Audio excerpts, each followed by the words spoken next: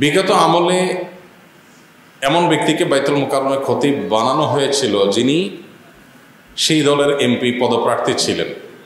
তার নামাজ পড়ানোকে কেন্দ্র করে আজ বাইতুল মোকারমে মারামারির ঘটনা ঘটেছে। ইন্নারিল্লাহ এ জাতীয় জাতীয় মসজিদে জোর করে খতিব হওয়া কি ইসলাম সমর্থন করে? ইন্নারিল্লাহ নতুন সংবাদ। বাইতুল মোকারমে যদি আজকে জুমার সময় মারামারি হয়ে থাকে, আমরা জানি না কি ঘটেছে। প্রশ্নকর্তা যদি নিশ্চিত হয়ে থাকেন, যদি এরকম ঘটনা ঘটে থাকে, তাহলে এটা হবে আমাদের জন্য খুবই লজ্জাজনক এবং খুবই দুঃখজনক একটি ব্যাপার।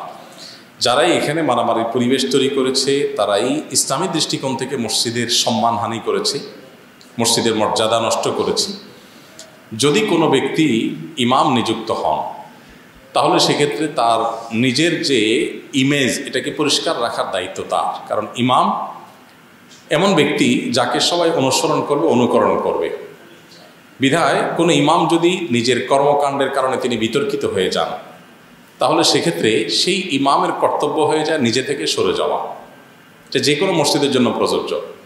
হ্যাঁ অহেতুক বিতর্ক সৃষ্টি করছেন সেটা এক জিনিস, কিন্তু আপনার মুসল্লিদের মেজরিটি আপনাকে চায় না। এরকম জায়গায় জোর করে ইমামতি করা শরিয়ার দৃষ্টিকোণ থেকে জায়েজ নাই।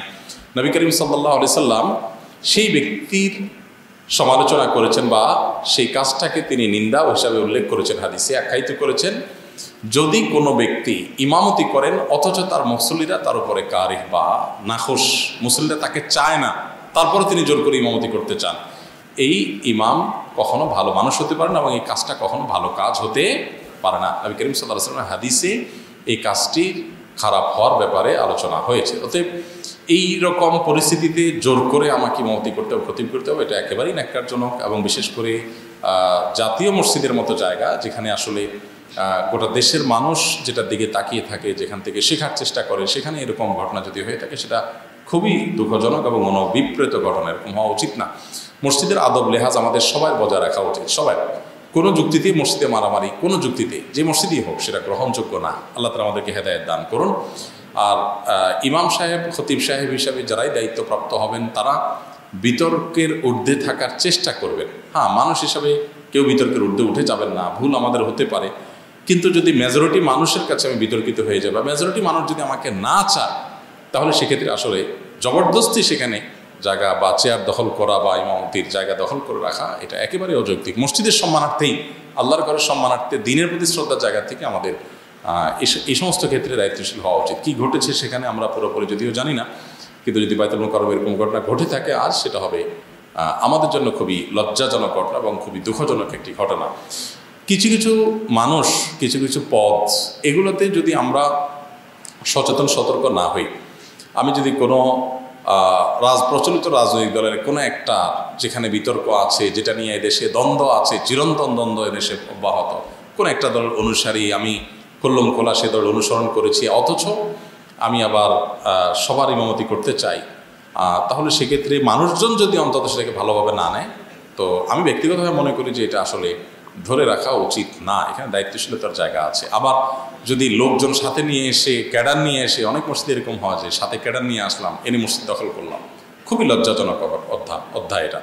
ক্যাডার নিয়ে দখল করাটা যেরকম লজ্জাজনক, ক্যাডার নিয়ে উৎখাত করাটাও লজ্জাজনক। এগুলো কোনোটাই আসলে আল্লাহর ঘরের শানের সাথে যায় না। আল্লাহর ঘরের প্রতি আদব, লেহাজের বরখেলাপ। আমরা মানে এই ধরনের ঘটনা যদি ঘটে থাকে, তাহলে আমার মনে হয় খুব নিকৃষ্ট একটা উদাহরণ তৈরি হলো বাংলাদেশে। আল্লাহ তালা আমাদেরকে হেফাজত করুন। এর সাথে যারা জড়িত আছে, তাদের সবাইকে আইনের আওতায়, বিচারের আওতায় আনা উচিত যে আল্লাহর ঘরের সম্মানহানি, জাতীয় মসজিদে বিশৃঙ্খলা সৃষ্টি, এটা কোনোভাবে গ্রহণযোগ্য হতে পারে না।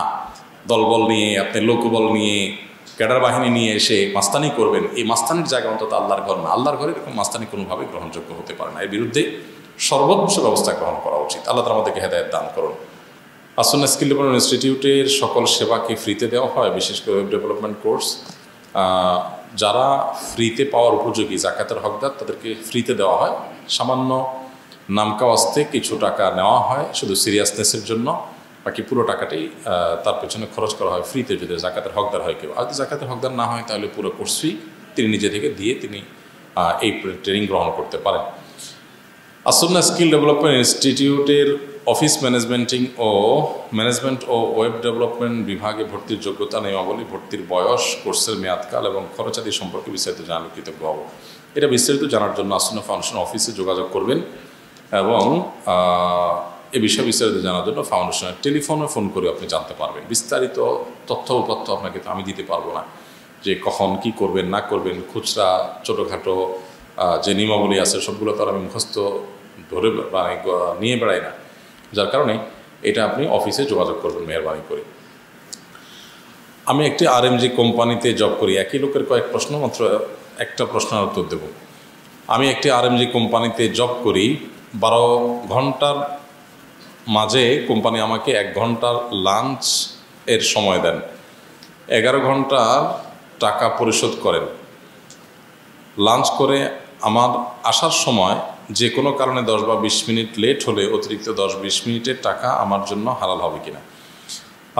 লাঞ্চের জন্য যে সময়টা দেওয়া হয়, সেটা যদি যৌক্তিক এবং সাফিসিয়েন্ট হয়, তাহলে অতিরিক্ত সময় যদি ব্যয় করেন, অবশ্যই সেই টাকা আপনার জন্য হালাল হবে না। বরং আপনাকে মনে রাখতে হবে যে লাঞ্চের জন্য যৌক্তিক সময় দেওয়ার পরও যদি আপনি আরও দশ, বিশ, ত্রিশ মিনিট এদিক সেদিক ঘোরাফেরা করলেন, মোবাইল টিপাটিপি করলেন, আড্ডাবাজি করলেন, দেরিতে এসে কাজে জয়েন করলেন, তাহলে ওই সময়টুকু যেহেতু আপনি নষ্ট করেছেন, সেজন্য আপনার ডিউটির পরে বা অন্য কোনো দিন ডিউটি করার সময় এরকম দশ, বিশ, ত্রিশ মিনিট প্লাস করে দিবেন ডিউটিতে।